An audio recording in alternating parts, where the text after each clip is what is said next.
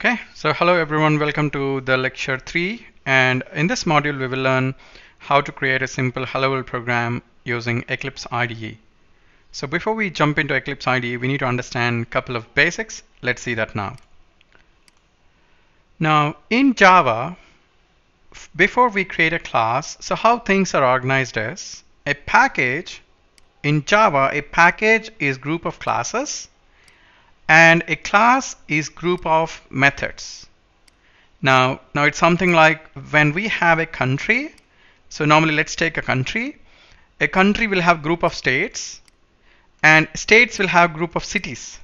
So why they have classified like directly country can have cities, right? So the reason why they group into states is for better organization.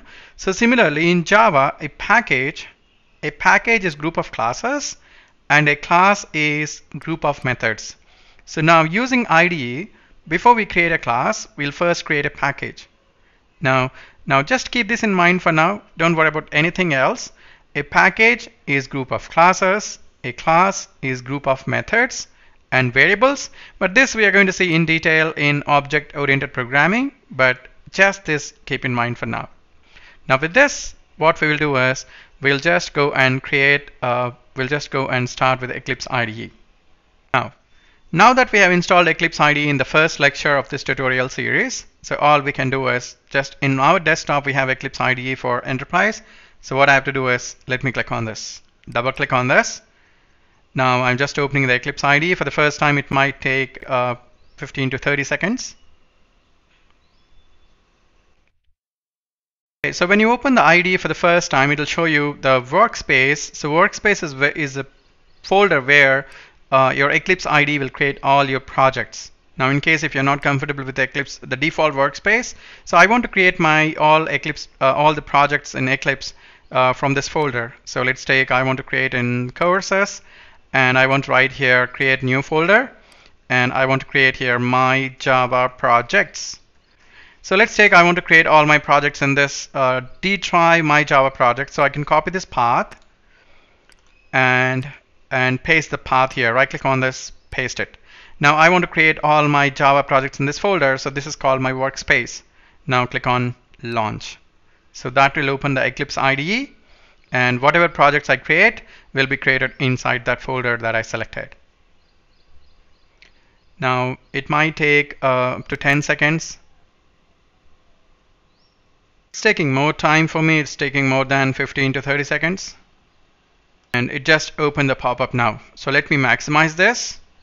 And by default, you'll see homepage where uh, uh, Eclipse Java Enterprise Edition ID for web developers. Let me close this welcome page.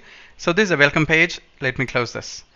Now what I can do is I can create a new project. So all I have to do is file, new, and I have to select here Java project. So I don't find this Java project here.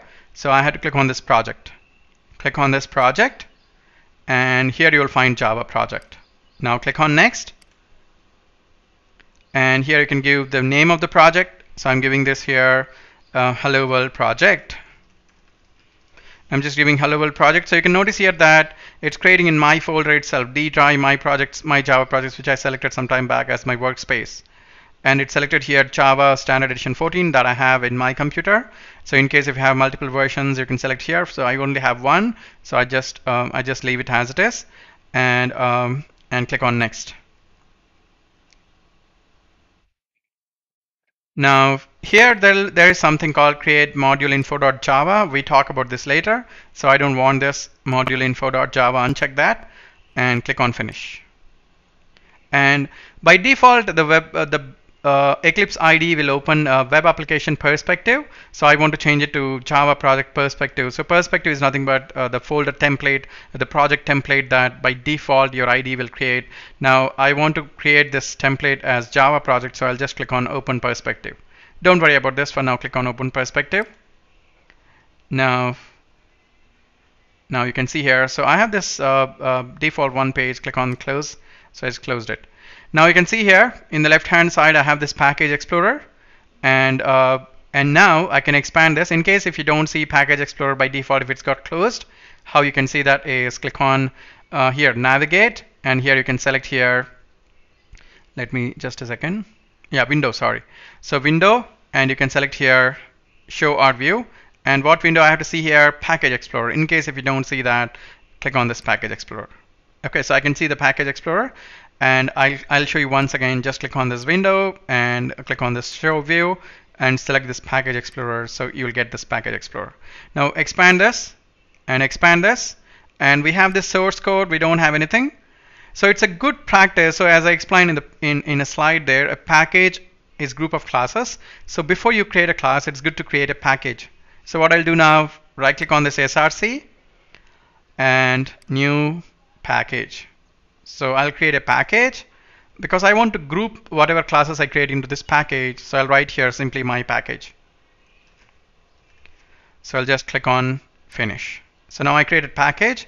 Now I'll create a class inside this. Right click on this new class and I'll give the class name as hello.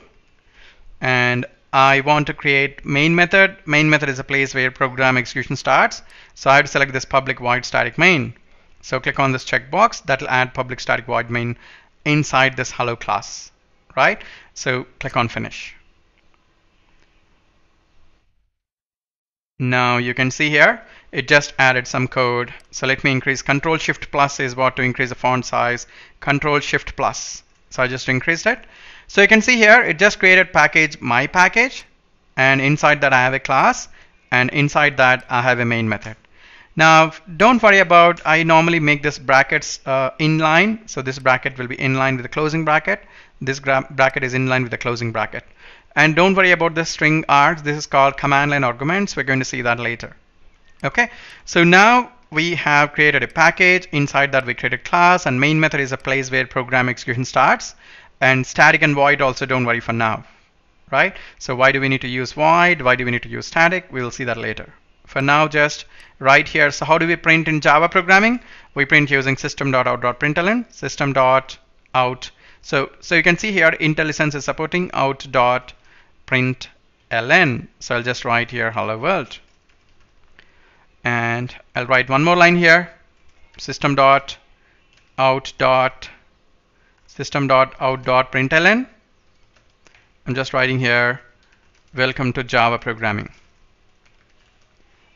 and enter. So now, now what I'll do now, I just added two lines. So I'm done with uh, writing the code. Let me click on run this. So I just need to click on this run. So it'll automatically compile and execute. Both the steps will be done together. So click on this. Now I just need to click OK. And you will see the output here. Hello world, welcome to Java programming.